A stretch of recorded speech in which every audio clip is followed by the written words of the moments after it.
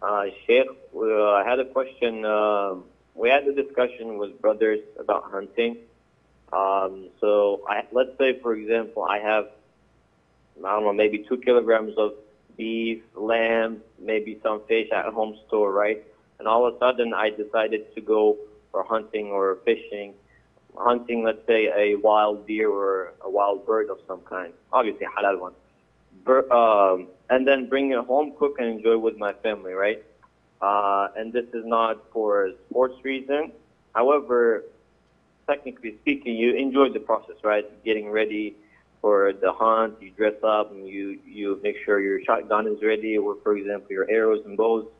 And then, um, because of this, can you say you can't hunt and bring home that deer because there's no necessity in that? Uh, you already have a meat at home, or you go there and you enjoy, enjoy the process. Is there any hadith or uh, ayah from the Quran that backs up and say it restricts, uh, says, for example, uh, you cannot hunt because uh, you already have a meat at home?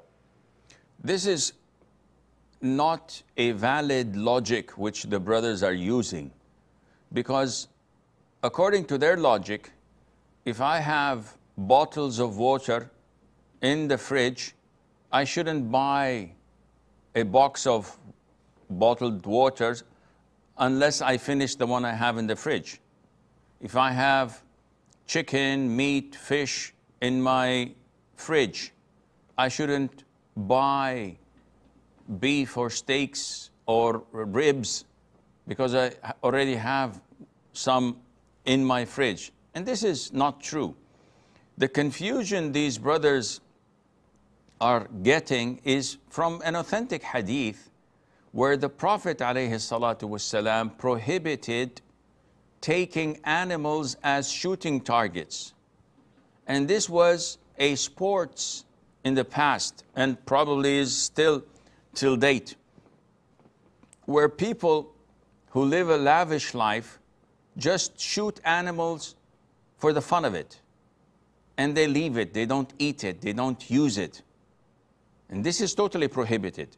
And the one who does this is cursed by Allah Azza wa Jal. However, if someone loves hunting and enjoys it, but he does utilize what he hunts, whether by taking the fur or by eating the meat or by giving the meat to the neighbors, even if someone goes fishing and he catches a lot of fish and he doesn't eat fish, but he gives it to the poor or to the neighbors or to the loved ones, there's nothing wrong at all in this, bi'idhnillah So shooting a, uh, a duck or uh, a bird or um, a gazelle, if a deer, if this is uh, permitted in your country, and eating the meat or storing it or giving it as a gift, there's nothing wrong in that, inshallah.